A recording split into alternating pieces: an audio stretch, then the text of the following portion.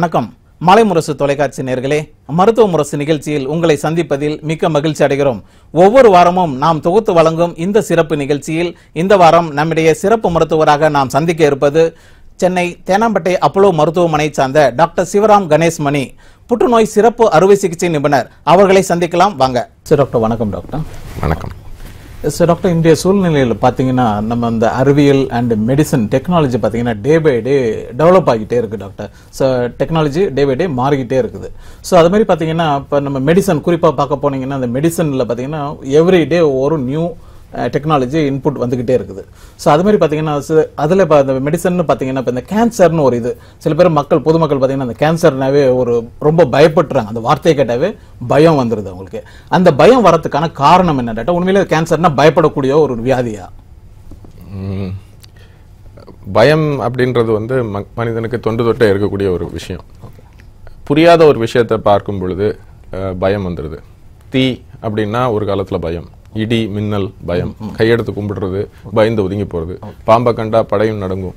இன்னைக்கும் கூட ஆனா பாம்பை ஜூல ஒரு பாக்ஸுக்குள்ள பார்க்கும்போது நமக்கு பயம் இல்லை. கரெக்ட் நமக்கு எதிரில் ஒரு சிங்கம் புலி இருந்தா தான் பயப்படுறோமே தவிர அதை கேட்ட உடனே பயப்படுவது இல்லை. அதே போல கேன்சர் அப்படின்றது அந்த வார்த்தையை கேட்ட உடனே தீர்க்க முடியாத ஒரு விஷயம் தீர்வு இல்லாத ஒரு விஷயம் முடிவு. சாவு அப்படின்ற ஒரு எண்ணம் மக்களுக்கு வருது. கேன்சரை பார்த்து யாரும் பயப்படுறது இல்ல கேன்சர்னா சாவு அதனால வரக்கூடிய கஷ்டம் அதனால வரக்கூடிய பொருட்செலவு உடல் கஷ்டம். அது தவிரவும் அதற்கு இருக்கக்கூடிய ஒரு ஸ்டிக்மா எனக்கு கேன்சர்னு இருக்குன்னு தெரிஞ்சா மக்கள் என்ன பத்தி என்ன நினைப்பாங்க? வெளியே சொல்ல முடியாத ஒரு அசிங்கம் அவமானம்னு நினைக்கிறாங்க. இப்படி ஒரு கூட்டு எல்லாம் சேர்ந்த ஒரு சைக்காலஜியோட விளைவு தான் வந்து அந்த பயம்.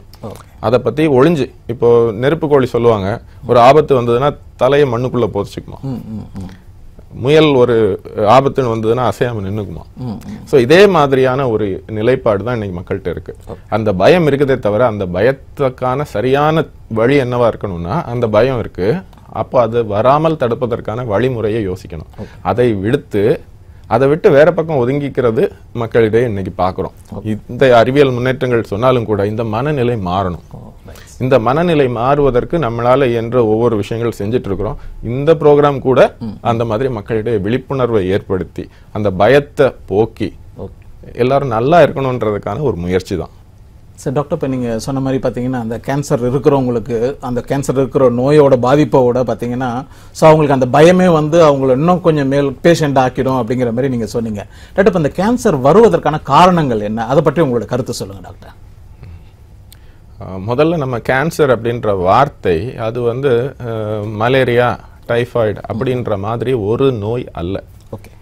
அது உடம்பில் உள்ள பல குறைபாடுகளின் மொத்தமான ஒரு நம்ம சொல்லக்கூடிய பொது வார்த்தை. கேன்சர் அப்படின்னு சொல் அதாவது புற்று அப்படின்னு சொல்லணுமானா அது உடல்ல ஒவ்வொரு உறுப்புகள்ல வரலாம். எந்த உறுப்புகள்லையும் பலவிதமான ஸ்டேஜ்கள்ல இருக்கலாம். அதாவது நிலைகள்ல இருக்கலாம். ஆரம்பிச்சிருக்கலாம் முற்றிய நிலையா இருக்கலாம். நடுத்தரத்துல இருக்கலாம். அப்படின்ற ஒரு பொது இந்த புரிதல் இல்லாம பொதுவாக கேன்சர் அப்படின்ற ஒரே வார்த்தையை கண்டு நம்ம அச்சம் கொள்ள தேவையில்லை. ஸோ முதல்ல புரிந்துக்க வேண்டியது இது ஒரு வார்த்தை அல்ல ஒரு நோய் அல்ல தனிப்பட்ட ஒரு காரணத்தினால் வரக்கூடிய விஷயம் அல்ல. மொத்தத்துல மனிதன் என்பவன் வாழக்கூடிய எல்லா உயிரினங்களுமே பிறந்து வளர்ந்து வாழ்ந்து அப்புறம் மடியறதுக்காகத்தான் டிசைன் செய்யப்பட்டிருக்குது. அதை நம்ம ஏத்துக்கணும். நிலையாமை அப்படின்றது வாழ்க்கையில ஒரு முக்கியமான ஒரு கான்செப்ட் நமக்கு முன்னாடி இருந்த தாத்தா தாத்தாக்கு தாத்தா இன்றைக்கு இல்லை. ஆனால் அதற்காக மனிதன் வந்து "ஓ, சரி பிறந்துட்டோம். நம்ம இறந்துருவோம். அப்படின்றதும் இல்லை. பிறந்தோம் மண்ணில் நன்றாக வாழ வேண்டும். அப்ப நல்லா வாழ்றதுன்னா எப்படி? நல்லா நம்ம இன்றைக்கு அன்றாடம் சந்தோஷமா வாழ்றது எல்லாருக்குமே பிடிச்சிருக்குது. சிரிச்சுக்கிட்டே இருக்கணும்னு எல்லாரும் நினைக்கிறாங்க. ஆனா வருந்தி உழைக்கிறது அதுல சில பேருக்கு எல்லாரையும் ஏத்துக்க முடியறது இல்ல எல்லாருக்கும் அதுல விருப்பம் இல்ல. கஷ்டப்படாம வாழணும்னு நம்ம நினைத்தா குறுக்கு வழிகளை தேடி போறோம். அதே போல இன்பம் அப்படின்றதுனா என்ன? இன்பமாக இருப்பதுனா என்ன? இந்த மாதிரி மனிதன் இன்பத்தை தேடி போகக்கூடிய வழியில அந்த வாழ்க்கை நெறிமுறைகளை தாண்டி சில இடங்கள்ல போயிடுறோம். அப்படி நம்ம செய்யக்கூடிய ஒவ்வொரு மாறுதல்களுக்கும் வாழ்க்கை முறையில செய்யக்கூடிய மாறுதல்களுக்கும் நம்ம ஒரு விலை கொடுக்கிறோம். அந்த மொத்த விலை ஒரு சமுதாயத்துக்கே அது வந்து புற்றுநோயா மாறுது. இதை இன்னும் விளக்கமா சொல்லணுமானா முன்னாடி காலங்கள்ல ஒரு ஒரு குடும்பத்துல ஒரு திருமணமான ஒரு தம்பதியினருக்கு பத்து குழந்தைகள் இருப்பது இயல்பு. எட்டு பத்து குழந்தைகள் இருப்பது இயல்பு. ஆனா இந்த கடந்த ஒரு ஐம்பது வருடத்துல அதாவது ஒரு தலைமுறைக்குள்ள நம்ம அந்த எண்ணத்தை அந்த நிலையை மாத்திருக்கிறோம். இன்றைக்கு குடும்பத்துக்கு ரெண்டு. அரசும் இதற்கு ஒரு வகையில காரணம் சொல்ல போனா நம்ம சயின்ஸ் வளர வளர வாழ்க்கை முறை மாறி இருக்கு இரண்டு குழந்தைகள். ஒரு குடும்ப நாமே இருவர். நமக்கேன் இன்னொருவர் அப்படின்ற மாதிரி கூட கூட நாள்ல வரலாம். சில நாட்கள்ல சொல்றாங்க. ஸோ இன்றைக்கு அப்படி நம்ம பண்ணும் பொழுது ஒரு பெண்ணினுடைய வாழ்க்கை முறை மாறுது. பழைய காலத்துல நம்ம ஒரு உழைத்து நடந்ததுக்கும் ஒரு மனிதன் சாதாரணமாக பத்து கிலோமீட்டர் நடக்கிறது சாதாரணம். ஐம்பது வருஷத்துக்கு முன்னாடி. இன்னைக்கு ஸ்டெப் கவுண்டர் போட்டு பத்தாயிரம் ஸ்டெப் நம்ம எடுக்கிறோமான்னு பார்க்கறாங்க லிஃப்ட்டை யூஸ் பண்றோம். ரிமோட் யூஸ் பண்றோம். இப்படிப்பட்ட சின்ன சின்ன சின்ன விஷயங்கள் நம்மளுடைய உடம்புல பல மாறுதல்களை ஏற்படுத்துது. இது தவிரவும் தேவையில்லாத பழக்கங்கள்.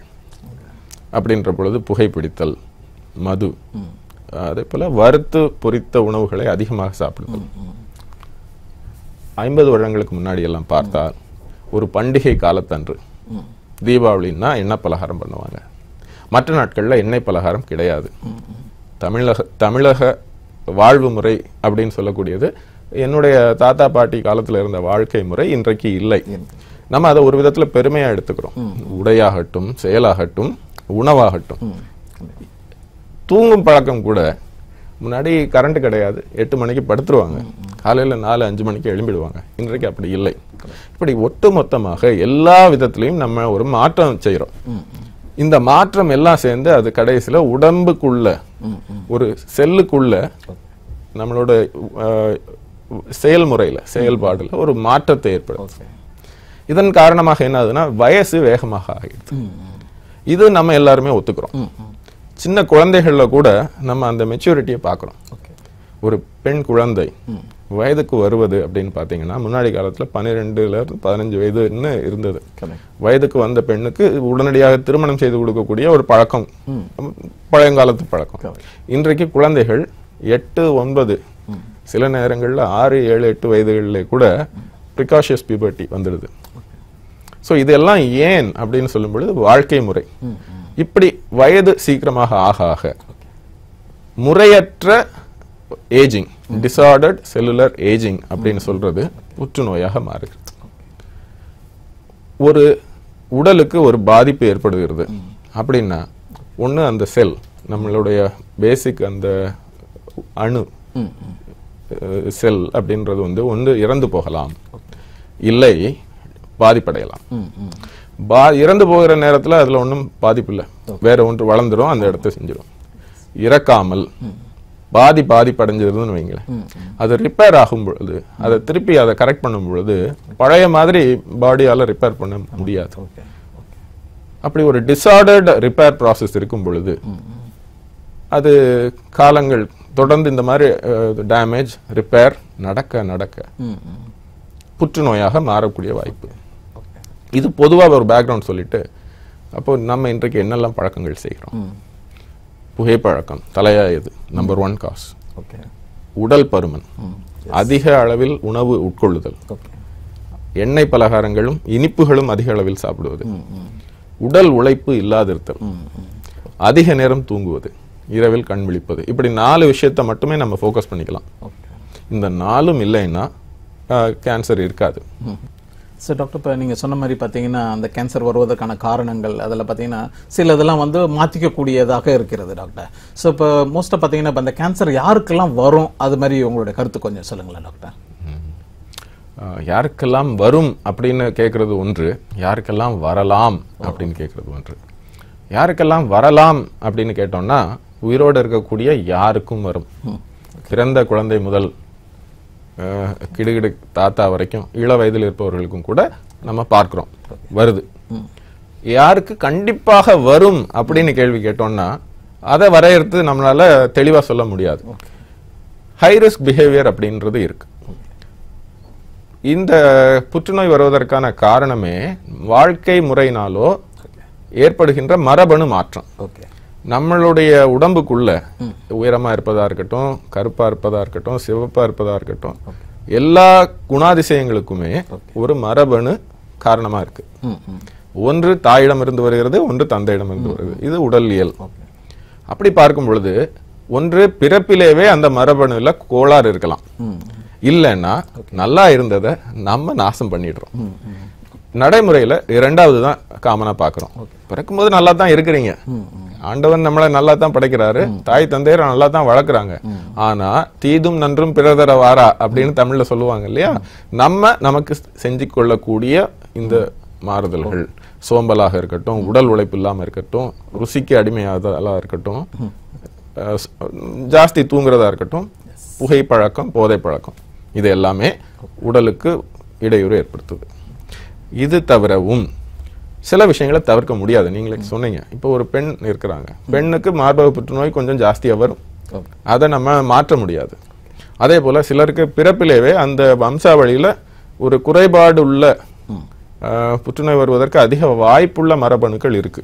ஒரு சிலருக்கு. ஆனால் இது நூற்றுல ஒண்ணு அப்படித்தான். இப்போ நூறு பேருக்கு புற்றுநோயோட பார்க்குறோம்னா அதுல ஒரு சிலருக்கு மாத்திரம் தான் இந்த மாதிரி வம்சாவளியா வரக்கூடியது இருக்கு. இன்றைக்கு ஒரு தவறான ஒரு கருத்து என்னன்னா ஒரு ஃபேமிலியில குடும்பத்துல ஒருத்தருக்கு புற்றுநோய் இருந்ததென்றால் அந்த ஃபேமிலியில பெண் கொடுக்க எடுக்க திருமண சம்பந்தம் செய்து கொள்ள நிறைய பேர் தயங்குறாங்க. இது ஒரு இது ஒரு முக்கியமான காரணம். இது சமூகத்துல இப்படி ஒரு ஸ்டிக்மாவாக இருக்கிறது. முன்னொரு காலத்துல ஃபேமிலியில ஒருத்தருக்கு இருப்பது வந்து கொஞ்சம் அதி- அதிசயம் அபூர்வம். ஊர்ல ஒருத்தருக்கு கேன்சர் இருந்தாலே அவருக்கு இருந்தது அப்படின்னு சொல்லி குறிப்பா சொல்லக்கூடிய காலம் போய் இன்றைக்கு வீட்டில் பல பேருக்கு இருப்பது நடைமுறை யதார்த்தம். அதனால இன்னைக்கு இருக்கிற காலத்துல இப்படி ஒரு ஸ்டிக்மா வச்சுக்கிட்டு இருக்கணும்ன்றது இல்ல. சார் டாக்டர் இப்போ பார்த்தீங்கன்னா நம்ம தொடர்ந்து பேசும்போது பார்த்தீங்கன்னா இந்த கேன்சர் வருவதற்கான அறிகுறிகள் அந்த சிம்டம்ஸ் என்ன டாக்டர் எப்படி அவங்க பேஷண்ட் ஐடென்டிஃபை பண்ணுவாங்கன்னா அவங்களுக்கு கேன்சர் இருக்கு அப்படிங்கிறது. அதுக்கான சிகிச்சை முறைகள் என்னென்ன இருக்கு டாக்டர் அதை பற்றி உங்களுடைய கருத்து சொல்லுங்க டாக்டர்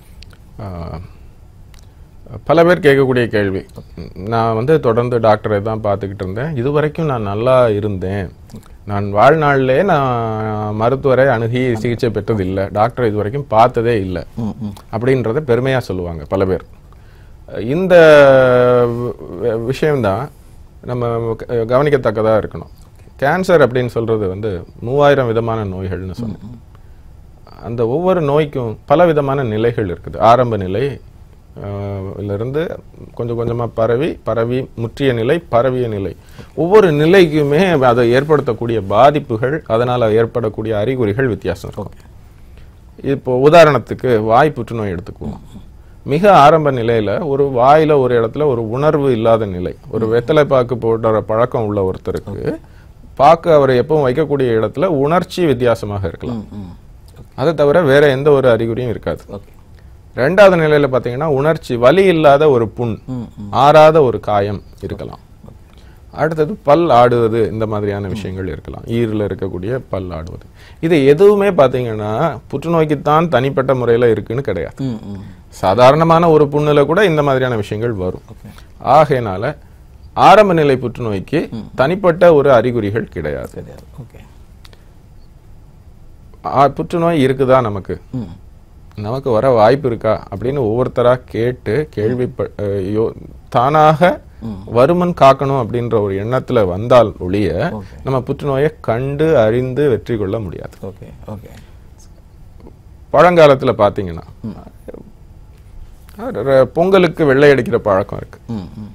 ஏன் அப்படின்னு சொன்னா வருடத்துக்கு ஒரு முறையாவது பழையன கழிதலும் தேவையில்லாத பொருளை எடுத்து தூர போட்டு போகி கொண்டாடிட்டு வெள்ளை அடித்து புதுப்பானை வாங்கி புத்தரிசி இல்ல பொங்கல் வச்சு வாழ்க்கையில நம்ம ஒரு எல்லாத்தையும் ஃப்ரெஷ்ஷா ஆரம்பிக்கணும் அப்படின்றது தான் நம்மளுடைய பழக்கம். கரெக்ட் ஆனா உடலை பொறுத்த வரைக்கும் நம்ம உடம்புக்குள்ள என்ன இருக்கு அதை எடுத்து சுத்தம் பண்ணி செய்யணும் அப்படின்ற ஒரு வாய்ப்பு பழங்காலத்துல கிடையாது. ஆனா இன்றைக்கு ம- நீங்க சொன்ன மாதிரி மருத்துவ அறிவியல் முன்னேற்றத்தினால மிக எளிதா உடம்புக்குள்ள என்ன நடக்குதுன்றதை நம்ம நான் இன்வேசிவா பார்த்துக்க முடியும். ஸ்கேன்கள் மூலமாகவும் தகுந்த ஸ்கேன்கள் மூலமாகவும். அப்போ முறையான மருத்துவரை அணுகி அவ்வப்போது அதாவது வருடத்துக்கு ஒரு முறையோ இல்ல ரெண்டு வருடத்துக்கு ஒரு முறையோ தகுந்த இடைவெளிகள்ல ஒரு உடல் பரிசோதனை செய்து கொள்ள ஓகே. அதுல முக்கியமா எண்டோஸ்கோப்பின்னு சொல்லக்கூடிய அகநோக்கி பரு- மருத்துவ சிகிச்சை பரிசோதனைகள். செய்து கொள்வதன் மூலமாக புற்றுநோய் இருக்கிறதா இல்லையா? இருப்பதற்கான வாய்ப்பு இருக்கிறதா இல்லையா? இதையெல்லாம் கண்டறிந்து அப்படி இருந்தாலும் மிக ஆரம்ப நிலையிலேயே மிக எளிதாக சிகிச்சை மூலமாக சரி செய்து கொள்ள முடியும். இதுல இ- இங்க தான் நம்ம புரிஞ்சுக்கணும். புற்றுநோய் ஏன் வருகிறது எதற்கு வருகிறது? வெற்றிலை பாக்கு பழக்கமுடையவருக்கு வாயில வரும். புகைப்பிடிப்பவருக்கு தொண்டை வாய் மேல் இந்த நுரையீரல் பகுதி இங்க வரும். பெண்களுக்கு மார்பகத்திலையும் கர்ப்பப்பையிலையும் இருக்கிறதற்கான வாய்ப்புகள் ஜாஸ்தி. சில இந்த மாதிரி ரிஸ்க் பேட்டர்னை பொறுத்து சில பணியாளர்களுக்கு சில கெமிக்கல் ஃபேக்டரிஸில் ஒர்க் பண்ணுறவங்களுக்கு அதுக்கு ரிலேட்டடான கேன்சர் வரும். ஸோ இப்படி யாருக்கு எங்கே வரும் அப்படின்ற ஒரு ரிஸ்க் இருக்கு. அதை தெரிந்து அதற்கேற்ற மாதிரியான மருத்துவ பரிசோதனைகள் செய்யணும். பொதுவாக எல்லா அதே போல ஒரு வயது. ஒரு இருபது வயசுல சில பரிசோதனைகள் தேவையில்லை. அதே அறுபது வயது அப்படின்னு சொன்னா பாடி தேய்மானம் எப்படி? அதனுடைய செயல்பாடு எப்படி இருக்கு? அப்படின்னா வயதிற்கு ஏற்றவாறு ஆண் பெண் அந்த பாலினத்துக்கு ஏற்றவாறு சில பரிசோதனைகள் செய்து கொள்ள வேண்டும். இப்படி செய்வதன் மூலமாக வருமுன் காக்கலாம் இருந்தாலும் ஆரம்ப நிலையில் கண்டறியலாம் எளிய முறையிலே வெற்றிகரமாக வைத்தியம் செய்து கொள்ளலாம். சார் டாக்டர் இப்போ நம்ம அந்த கேன்சர் பற்றி பேசிட்டு இருக்கோம் டாக்டர் ஸோ அதே மாதிரி பார்த்தீங்கன்னா அந்த பப்ளிக்கில் நல்லா கேள்விப்பட்டிருக்கேன் டாக்டர் அந்த கேன்சர்னாவே பார்த்தீங்கன்னா stage one stage two two அப்படிங்கிறதெல்லாம் கேள்விப்பட்டிருக்கேன். ஸோ அது மாதிரி இந்த கேன்சரில் எத்தனை ஸ்டேஜ் இருக்குது டாக்டர் அதை பற்றி உங்களுடைய விளக்கமாக கொஞ்சம் உங்களுக்கு கருத்து சொல்லுங்கள் டாக்டர் மக்களுக்கு எல்லாருமே கேட்குற கேள்வி. பேஷண்ட்ஸை விட பேஷண்டோட அட்டெண்டர் சார் இது ஸ்டேஜ் ஒன்னா ஸ்டேஜ் ஃபோரா மக்களுக்கு இன்றைக்கு அந்த அளவுக்கு தெரிஞ்சிருச்சு. ம் ம். எஸ் பொதுவா புற்றுநோயை நம்ம நான்கு நிலைகளா பிரிக்கிறோம். ஆரம்ப நிலை இல்ல ஸ்டேஜ் ஒன் அண்ட் டூவை நம்ம ஆரம்ப நிலைன்னு எடுத்துக்கலாம். ஒரு உறுப்புல ஆரம்பிக்குது. அது அந்த உறுப்புக்குள்ளேவே ஒரு சிறிய அளவுல இருக்குது அப்படின்ற பொழுது அதை ஸ்டேஜ் ஒன்னுன்னு சொல்றோம். அந்த உறுப்புக்குள்ளே இருக்கு கொஞ்சம் பெருசா இருக்குன்னா ஸ்டேஜ் டூ அந்த உறுப்பை விட்டு அதுக்கு பக்கத்துல இருக்கக்கூடிய நெறி கட்டிகளுக்கு பரவி இருந்தால் அல்லது அந்த இடத்துல கொஞ்சம் முற்றி போயிருந்தால் அதை மூன்றாவது நிலைன்னு சொல்றோம். பரவிய நிலை உடம்புல அது உற்பத்தி ஆன இடத்தை விட்டு அந்த உறுப்பை விட்டு வேறொரு உறுப்புக்கு பரவின நிலையில இருக்கக்கூடிய கேன்சரை நாலாவது நிலைன்னு சொல்றோம். அதாவது ஆரம்ப நிலை முதல் ரெண்டுமே முற்றிய நிலை பரவிய நிலை. இப்படி நம்ம ஒரு எளிய வரைகளை எடுத்துக்கலாம். இதை பொறுத்து ட்ரீட்மெண்ட்டையும் நம்ம ஒரு சின்ன ஷார்ட்கட்டை ஞாபகம் வச்சுக்கலாம். எப்படின்னா ஆரம்ப நிலையில வந்து ஒரு ட்ரீட்மெண்ட் மொடாலிட்டி போதுமானது. அறுவை சிகிச்சைனா அறுவை சிகிச்சை மாத்திரமே போதும். பெரும்பாலும். முற்றிய நிலை அதாவது மூன்றாவது நிலையில மூன்று விதமான வைத்திய முறைகள் தேவைப்படுது. ஆபரேஷன் என்ற அறுவை சிகிச்சை கீமோதெரப்பின்னு சொல்லக்கூடிய மருந்துகள் கொடுத்து செய்யக்கூடிய சிகிச்சை முறை கதிர்வீச்சு ரேடியேஷன் தெரப்பி அப்படின்னு சொல்ற மூன்றின் கூட்டு முயற்சியா நம்ம கூட்டு சிகிச்சை செய்ய வேண்டியிருக்கு. நாலாவது நிலை என்பது குணப்படுத்த வாய்ப்பு இல்லாத ஒரு நிலையாக கருதப்படுகிறது. அதனால தான் எல்லாருக்கும் நாலாவது ஸ்டேஜா ஸ்டேஜ் ஃபோரா அப்படின்னு சொல்லி கேட்குற ஒரு பழக்கம் இருக்கு. ஏன்னா நாலாவது நிலை அதுவும் கூட இதை நம்ம எப்படி புரிந்து கொள்ளணும்னா இது ஒரு பயணம். புற்றுநோய் ஆரம்பித்த நிலையிலிருந்து பேஷண்ட்டுடைய இறப்பு இல்ல பரவுதலை வந்து நம்ம ஒரு டிஸ்கிரைப் பண்றோம். Okay. ஒன்று இரண்டு மூன்று நாலுன்னு வகைப்படுத்துறோம். ஒன்றுல ஆரம்பிச்சு தான் நாலு வந்திருக்க முடியும். இதுல நம்ம புரிந்து கொள்ள வேண்டிய ஒரு விஷயம் என்னன்னா ஒருவருக்கு நாலாவது ஸ்டேஜுக்கு நா பத்து வருடமா போயிருக்குதுன்னு வைங்க. மெதுவாக வளரக்கூடிய ஒரு கட்டி முதல் நிலையிலிருந்து நாலாவது நிலைக்கு பல காலம் கழித்து போயிருக்கும். வேகமாக அதே நேரத்துல ஒருத்தருக்கு ஒரு வருடத்துக்குள்ளவே நாலாவது நிலைக்கு போயிடுச்சதுன்னா அதனுடைய வீரியத்தை பத்தி நம்ம இங்க பேசுவதில்லை. பொதுவா மக்கள் புரிந்து கொள்ளாத விஷயம் என்னன்னா எப்படி இந்த நிலை முக்கியமோ இந்த ஸ்டேஜ் முக்கியமோ அதே போல அந்த நோயின் வீரியம் அதாவது கிரேட் முக்கியம். வேகமாக வளரக்கூடிய ஒரு கட்டி ஆரம்ப நிலையில் இருந்தாலும் கூட அதனுடைய ரிசல்ட் பாத்தீங்கன்னா அவ்வளவு நல்லா இருக்காது. ஸோ புற்றுநோயை பொறுத்த வரைக்கும் சொல்லுவோம். டியூமர் பயாலஜி புற்று நோயின் தன்மை இருக்கு பாருங்க. அதுதான் வெற்றி தோல்வியை தீர்மானிக்கும். அந்த கிரேடை தீர்மானிப்பது எப்படின்னா நம்மளுடைய பழக்க வழக்கம் ஸோ அங்கேயும் நம்ம திருப்பி திருப்பி எங்க போனாலும் சுற்றி வந்து புகைப்படக்கிறத விடுங்க. தவிர்க்கிறத பார்ப்போம். நல்ல விதமான ஒரு வாழ்க்கை முறையும் வாழ்க்கை தரத்தையும் உயர்த்துவோம். அப்படின்றதுல தான் நம்ம எங்க போனாலும் நம்ம சொல்லக்கூடிய மெசேஜ் வந்து மக்களுக்கு இதுதான். ஓகே. எந்த நிலை இது ஸ்டேஜ் ஃபோர் அதனால இவருக்கு கதை முடிந்தது அப்படின்னு எல்லாம் எதுவுமே கிடையாது. யாருக்கு எவ்வளவு நாள்? அடுத்தது இதை கூட அடுத்த கேள்வியாக மக்கள் கேட்கறது இந்த ஸ்டேஜ் வந்துருச்சே. இன்னும் எவ்வளவு நாள் இருப்பார்? இந்த ஒருவர் எத்தனை நாட்கள் இருப்பார்? அப்படின்னு கேட்கும் பொழுது நாங்க பதிலுக்கு நீங்க எத்தனை நாள் இருப்பீங்க? அப்படி மாற்றி கேட்பது உண்டு. ஏன்னா நாளை இருக்கா இல்லையான்றது நமக்கு தெரியாது. அப்போ பேஷண்ட்டுக்கு மட்டும் நாள் குறிக்கக்கூடிய அந்த உரிமையை நமக்கு யாரும் கொடுக்கல. நமக்கு தெரியாது. மனித அறிவு எவ்வளவுதான் வளர்ந்தாலும் உயிரை பத்தி யாருக்கும் இன்னும் புரியாது. உயிரை கொடுக்கவோ எடுக்கவோ நமக்கு என்றும் அந்த அளவுக்கு நம்ம வளரல எஸ் சார் டாக்டர் இப்போ பார்த்தீங்கன்னா நம்ம அந்த புற்றுநோய் பற்றி அதோட ஸ்டேஜஸ் பற்றி நீங்கள் சொன்னீங்க. ஸோ அதே மாதிரி பார்த்தீங்கன்னா இப்போ இந்த புற்றுநோய் வந்தவங்களுக்கு மெடிசன்லேயே நம்ம சரி பண்ண முடியுமா? அப்படி இல்லைன்னா இப்போ சில பேர்லாம் பார்த்தீங்கன்னா பப்ளிக்கில் பார்த்தீங்கன்னா அவங்களுக்கு என்னென்ன அந்த கேன்சர்னா சர்ஜரி பண்ணால் அது மேலும் ஸ்ப்ரெட் ஆகும் அப்படிங்கிற ஒரு காமன் இது எல்லாருக்குமே இருக்குது அது கரெக்டானதா இல்லை அப்படி இல்லாமல் கேன்சருக்கான ட்ரீட்மெண்ட்கள் என்னென்ன வகைகள் இருக்குது டாக்டர் இது பரவலாக மக்களுக்கு இருக்கக்கூடிய ஒரு பயம். பொதுவாகவே நம்ம தமிழில் பேசிட்டோம்னு வைங்களேன் ஆப்ரேஷன் பண்றதுன்னா ஒரு சில நான் மக்கள் பேசுவதையும் கேட்டிருக்கிறேன். ஒரு சில மருத்துவர்களே தமிழ்ல எக்ஸ்பிளைன் பண்ணும் பொழுது நம்ம வயிற்றை கிழித்து இந்த கட்டியை எடுக்க போறோம். ஆ, நீங்க கத்தியால திறந்து பார்த்து கீரி அப்படின்ற மாதிரியான வார்த்தைகளை கேட்டு பயம் வந்து மக்களுக்கு ஆபரேஷன் சர்ஜரி பண்ணணும் அப்படின்னாலே ஒரு பயம். ஏன்னா வலி. ஏன்னா இந்த கட்டியினால கூட வலி இருக்காது. அறிகுறிகள் இல்லாத ஒரு நோய்க்கு நம்ம தேவையில்லாம ஒரு வலியை ஏற்படுத்தணுமா? அதனால ஏற்படக்கூடிய சிரமம் பொருட்செலவு இப்படி எல்லாம் பார்க்கறாங்க ஆனா பார்க்க போனா சாலிட் டியூமர்ஸ் நம்ம புற்றுநோய்களை இரண்டு விதமாக பிரிக்கலாம். ஒன்று ரத்த மற்றும் நிணநீர் லிம்போமா அண்ட் லுக்கீமியா. ரத்த புற்றுநோய் அது ஒரு விதம். அது இல்லாமல் சாலிட் உடல் உறுப்புகள்ல திட உறுப்புகள்ல அதாவது நுரையீரல் மார்பகம் நாக்கு தைராய்டு இந்த மாதிரியான இடங்கள்ல வரக்கூடிய கட்டிகள். எப்படி பொதுப்படையா விரிச்சு பார்த்தோம்னா இந்த சாலிட் டியூமர்ஸ் எல்லாவற்றிற்குமே குணப்படுத்துவதற்கான சிகிச்சை முறையில சர்ஜரி அப்படின்ற அறுவை சிகிச்சை புற்றுநோய் அறுவை சிகிச்சை தலையாய பங்கு வகிக்கிறது.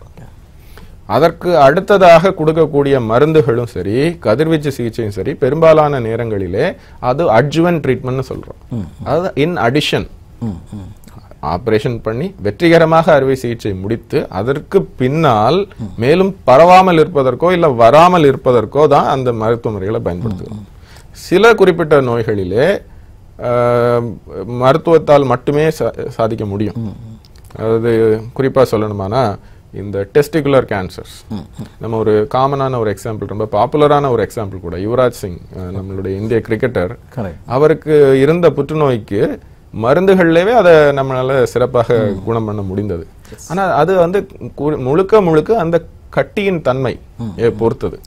கரையும் தன்மை உள்ள கட்டிகளையும் இரத்த புற்றுநோய்களையும் மருந்துகளாலேயே முழுவதுமாக குணம் செய்ய முடியும். அறுவை சிகிச்சைக்கு அங்கு வேலை இல்லை.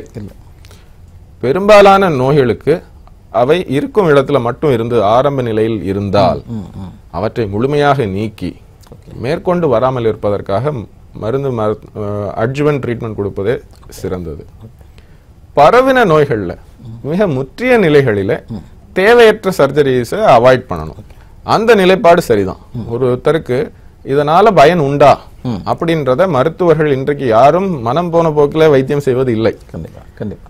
பெரும்பாலும் எல்லா தேர்ச்சி பெற்ற மருத்துவர்களும் ரொம்ப எத்திக்கலான ஒரு தொழில் தான் இன்றைக்கு கூட மக்கள் என்ன நினைத்தாலும் சரி ஒருவருக்கு புற்றுநோய் மருத்துவத்திற்கு உள்ளே வர வேண்டும் என்றால் அவருக்கு கண்டிப்பாக அதற்கான ஒரு மனம் இருக்க வேண்டும். அதற்கான திடம் திறம் போக இந்த நோயில் வந்து கஷ்டப்படுபவர்களுக்கு நம்மளால ஏதாவது செய்யணும் அப்படின்ற ஒரு எண்ணம் இல்லாமல் மக்கள் இந்த அளவு தூரம் கஷ்டப்பட்டு படித்து தினசரி வாழ்க்கையில ஒரு புற்றுநோய் நோயாளியை கவனம் செய்ய வேண்டிய மருத்துவ பணிக்கு யாரும் வருவதில்லை.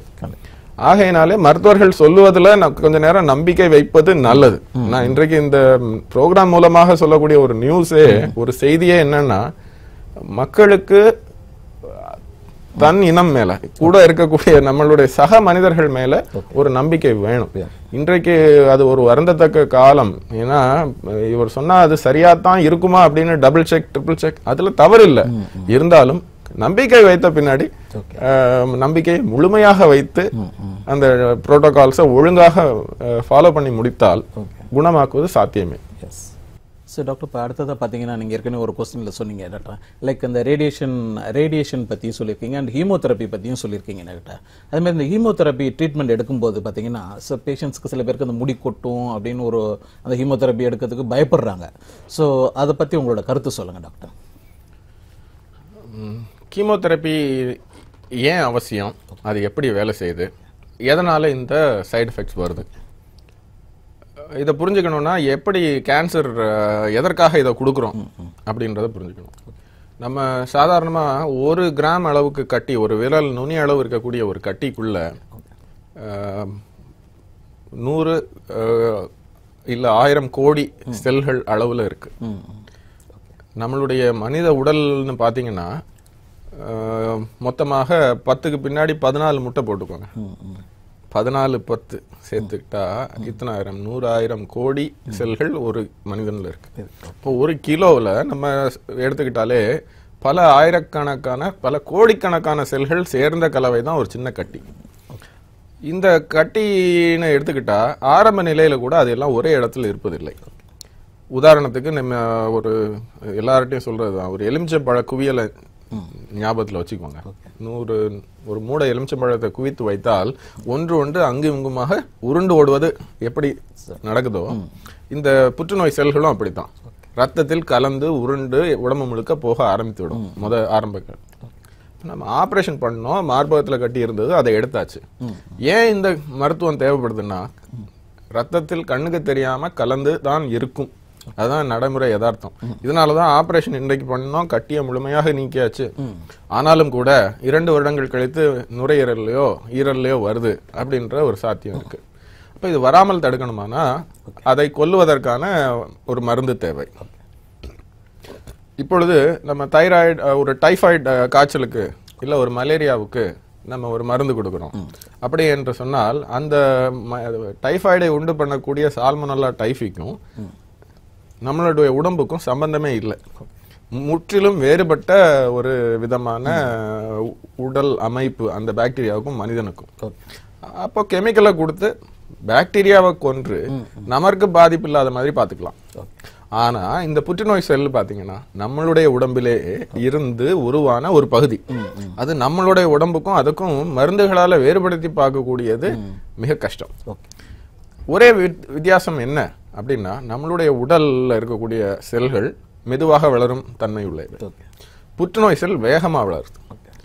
இந்த மருந்துகள் எல்லாமே வேகமாய் வளரக்கூடிய அனைத்து செல்களையும் தாக்கி அழித்து பாதிப்பு ஏற்படுத்துற மாதிரி தான் டிசைன் பண்ணியிருக்காங்க. அப்படி பார்க்கும் பொழுது நம்மளுடைய உடம்புல வேகமாக வளரக்கூடிய உறுப்புகள் என்னெல்லாம் அப்படின்னா முடி. ஹேர் ஃபாலிக்கிள்ஸ் மிக வேகமாக வளரும். வயிறு மற்றும் குடல்ல இருக்கக்கூடிய அந்த ஜவ்வுத்தோல். ம் அப்புறம் ஆண் பெண் உயிரணுக்கள். இதெல்லாம் மிக வேகமாக வளரும் தன்மையுடையவை. இப்போ இந்த கீமோதெரப்பி கொடுக்கும்போது இந்த மூன்று இடங்களுக்கும் பாதிப்பு தவிர்க்க முடியாததாகிறது. முடி கொட்டுவதும் வயிறு மற்றும் குடல் அழற்சி ஏற்படுவதும் உயிரணுக்கள் மற்றும் எண்ணிக்கை குறைவது வந்து தற்காலிகமானது ஆனால் தவிர்க்க முடியாததாக இருக்குது. முன்னொரு காலத்தில் பார்த்தீங்கன்னா வாந்தி வருவது ரொம்ப ஏன்னா இதெல்லாமே கெமிக்கல்ஸ் ஹெவி மெட்டல்ஸ் தான் சாதாரணமாக இந்த கீமோதெரப்பி மருந்துகளில் பயன்படுத்தப்படுகிறது. இவை உடம்புக்குள்ள போகும் பொழுது மிக கடுமையான வாந்தி மற்றும் குமட்டல் ஏற்படுத்துபவை.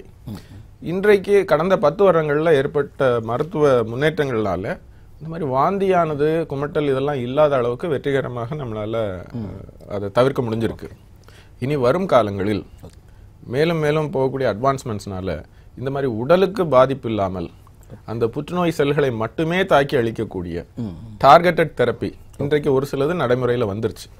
இந்த மாதிரியான பாதிப்புகள் இல்லாம கீமோதெரப்பியை சேஃபா கொடுக்கறதுக்கான வாய்ப்புகள் இருக்கு. ஓகே சரி டாக்டர் இப்போ அடுத்ததாக பார்த்தீங்கன்னா இப்போ இந்த கேன்சர் ட்ரீட்மெண்ட் பற்றி நீங்கள் அழகாக சொல்லிட்டு இருக்கீங்க டாக்டர் ஸோ அதில் பார்த்தீங்கன்னா இப்போ இந்த கேன்சர் ட்ரீட்மெண்ட்டுக்கு இப்போ இருக்கிற அந்த நம்ம சயின்டிஃபிக் வேர்ல்டில் ஸோ அட்வான்ஸ்டு ட்ரீட்மெண்ட் ஏதாவது மெத்தட் இருக்கா டாக்டர் ஃபார் கேன்சர் ட்ரீட்மெண்ட்டுக்கு அதை பற்றி உங்களோட கருத்து கண்டிப்பாக. இந்த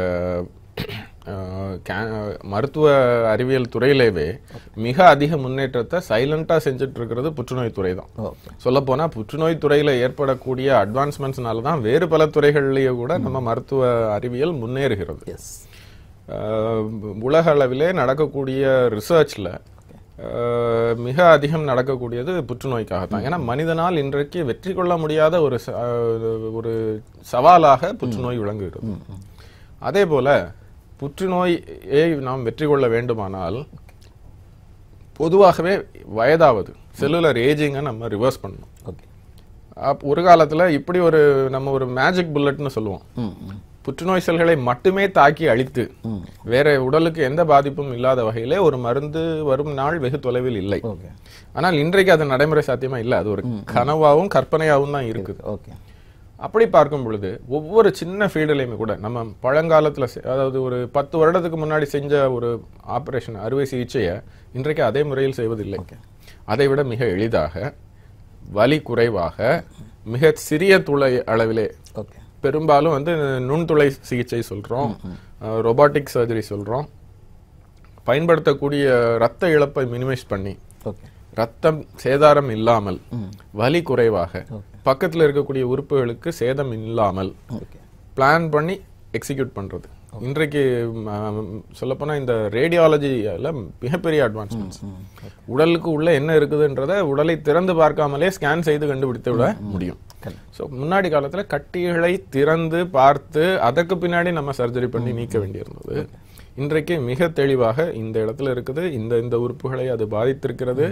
இதனை இப்படி நீக்க வேண்டும் என்று ஒரு தெளிவான திட்டமிடுதலோடு உள்ளே சென்று இப்பொழுது வயிற்றிலே இருக்கிறது அப்படின்னு சொன்னா அஹ், உள்ளே வந்து முழுக்க திறந்து எடுக்காம லாப்ரோஸ்கோபி மூலமாக பெரும்பாலான சிகிச்சை முறையில செய்துவிட முடியும்.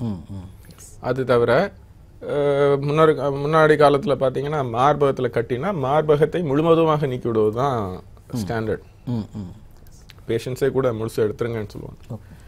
இன்றைக்கு அப்படி இல்லை. பெரிய அளவில் பாதிப்பு இல்லாமல். ஆப்ரேஷன் பண்ணதே கூட சிலருக்கு தெரியாத அளவில் கூட நம்ம வெற்றிகரமாக செய்ய முடியும். அதே போல் உடல் உறுப்புகள். தொண்டை புற்றுநோய் என்று இருந்ததுன்னா முன்னொரு காலத்தில் தொண்டையை எடுத்துவிட்டு ட்ரிகாஸ்டமி பெர்மனண்டாக வைப்பது. தாடைனா மிக கோரமாக இருக்கும். சிலவங்களெல்லாம் பேஷண்ட்ஸை பார்த்தாலே.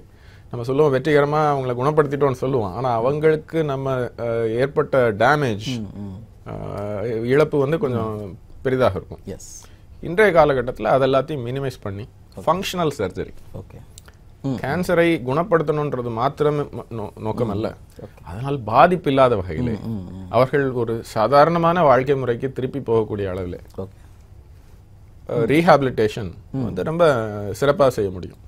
ஸோ அதனால இந்த நம்ம முன்னாடியே சொன்னோம் மருத்துவம் ஒரு வகையில முன்னேறிட்டே இருக்குது. ஆனா மக்கள் அதை நோக்கி வரணும்.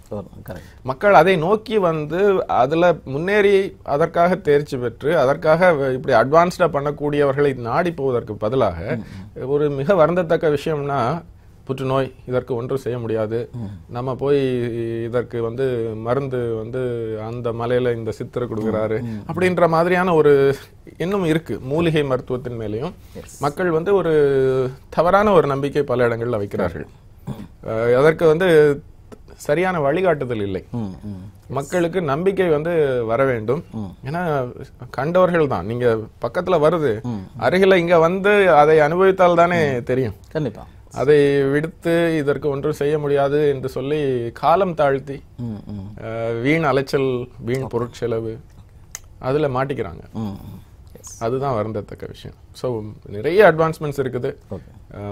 வலி இல்லாத வகையிலே ரொம்ப சிரமங்கள் இல்லாத வகையிலே இருக்குது. இந்த இடத்துல குறிப்பா அடுத்தும் ஒரு பாயிண்ட்டும் நான் சொல்லணும். மக்களுக்கு கேன்சர்னாலே ஒரு பயம் வருவதற்கும் ஒரு காரணம் அவர்கள் அது சரியான திட்டமிடல் இல்லை வரும்னு எதிர்பார்ப்பதில்லை. அதற்காக ஏற்படுகின்ற ஒரு செலவீனங்களுக்கு தயாராக இருப்பதில்லை. ஸோ யாருமே பார்த்தா ஒரு இன்றைய காலகட்டத்தில் வெளிநாடுகளில் எல்லாருக்குமே health insurance is a must health insurance இல்லாத ஆட்கள் இருப்பதில்லை இல்லாத குடும்பங்கள் இருப்பதில்லை. நம்ம பெரும்பாலும் பலர் அரசாங்கத்தை சார்ந்து இருக்கிறார்கள். ஒரு அளவுக்கு நம்ம நவீன மருத்துவ முறைகளை செய்யும் பொழுது அதற்கு ஏற்படக்கூடிய சாதாரண செலவினங்கள் இன்றைய சராசரி மனிதனுக்கு ஒரு பெரிய செலவினமாக தெரிகிறது. ஏனென்றால் ஒரு திருமணத்திற்கோ ஒரு மகன் மகனுடைய படிப்பிற்கோ சேர்த்து வைப்பவர்கள் வீடு வாகனத்திற்கு சேர்த்து வைப்பவர்கள் தன் உடல் அதற்கு பிரச்சனை வரலாம் வரலாம் வந்தால் அதை சரி செய்வதற்கு ஒரு பணம் தேவை என்பதை யாரும் எதிர்பார்ப்பதில்லை. கண்டிப்பா. அந்த நிலை கொஞ்சம் மாற வேண்டும். எஸ் ஸோ டாக்டர் இவ்வளோ நேரம் பார்த்தீங்கன்னா அந்த கேன்சர் புற்றுநோய் எப்படி வருது? ஸோ அதை எவ்வாறு தடுக்கலாம்? அதுக்கான சிகிச்சை முறைகள் என்னென்ன? அது மாதிரி அட்வான்ஸ்டு ட்ரீட்மெண்ட் என்னென்ன இருக்குது அப்படிங்கிறதெல்லாம் ரொம்ப விளக்கமாக அழகாக சொன்னீங்க டாக்டர் ஸோ அதே மாதிரி பார்த்தீங்கன்னா இப்போ எங்களோட மாலை முரசு நேயர்களுக்காக ஸோ விழிப்புணர்வு இந்த கேன்சர் சம்பந்தமான விழிப்புணர்வு செய்தியாக உங்களோட கருத்து கொஞ்சம் சொல்லுங்கள் டாக்டர் கேன்சர் இன்றைக்கு வந்து ஒரு உயிர்கொல்லி நோய் தான். அதில் மாற்று கருத்து இல்லை. ஆனால் அதை உயிர்கொல்லியாக ஆக்குனதும் ஆக்கிக்கிட்டு இருக்கிறதும் நாம தான். அதில் இருந்து வெளி வரணும். இந்த சமுதாயம் வெளி வரணும். தனி ஒரு மனிதன் புற்றுநோய்க்கால பாதிக்கப்படக்கூடாது அப்படின்னு சொன்னால் அது சமுதாயத்துக்கு ஒரு பொறுப்பு இருக்குது இந்த தேசத்துக்கு இதை ஆள்றவங்களுக்கு ஒரு பொறுப்பு இருக்குது தனி மனிதனாவோ இல்லை சமுதாயமாவோ நம்ம என்ன செய்யலாம் அப்படின்னு பார்த்தா புகையிலையை விடணும். புகை உயிருக்கு பகை. புற்றுநோய் உண்டாகுதோ இல்லையோ ஏதோ ஒரு வகையில் அது நமக்கு கெடுதல். அடுத்தது மது பழக்கம் விட வேண்டும். அடுத்தது உடல் பருமன். உடல் பருமனுக்கு ரெண்டே காரணம். இன்டேக் ஜாஸ்தியாக இருக்குது. சர்க்கரை கொழுப்பு பொறுத்து இந்த உணவுகளை நம்ம குறைக்கணும். உடல் உழைப்பை கூட்டணும். சரியான நேரத்திற்கு தூக்கணும். சரியான உடல் உழைப்பு வேணும். இது இருந்தாலே இது தவிர இப்படி எல்லாம் இருந்தாலும் கூட மனிதனுக்கு உடலில் நோய்கள் வருவது சாத்தியமே. எந்த அளவுக்கு நம்ம நல்லா இருந்தாலும் கூட அவ்வப்போது ஒரு தகுந்த மருத்துவ பரிசோதனை அவசியம். ஏன்னா புற்றுநோயை பற்றி ஒரு தவறான புரிதல் புற்றுநோய் மிக வேகமாக வளர்ந்து பரவி ஆளை கொல்லும் உயிர்கொல்லின்னு நினைக்கிறாங்க. அப்படி இல்லை. மிக மிக மெதுவாக வளர்ந்து நம்மளோட கூட இருந்தே நம்மை கொல்லும் வியாதி. நமக்கு கூட பத்து பதினைந்து வருடங்களாக ஒருத்தருக்கு புற்றுநோய் வருவதற்கு முன்னமே தேர்வு தேர்ச்சி பெற்ற மருத்துவர்களால் அதை கண்டுபிடித்திட முடியும். கட்டி வருவதற்கு பதினைந்து வருடங்களுக்கு முன்னாரவே கூட உ- உங்களுக்கு பிற்காலத்திலே வரும் இந்த இடத்துல. அதனால நீங்கள் இப்போவே அதை சரி செய்து கொள்ளுங்கள் என்று சொல்லக்கூடிய அளவுக்கு இன்றைக்கு மருத்துவம் முன்னேறி இருக்கிறது. ஸோ இதனை பயன்படுத்தி கொள்ள வேண்டும்.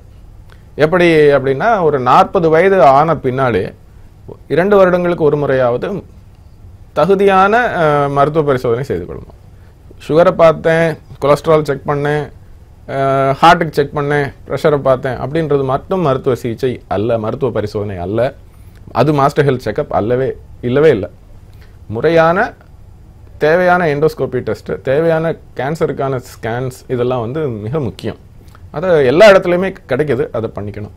இன்னும் வருங்காலத்தில் புற்றுநோய் என்ற ஒரு நோயே இருக்கக்கூடாது. இதுதான் எங்களுடைய ஆசை. விரைவில் அந்த ஒரு நல்ல நிலை வரட்டும்.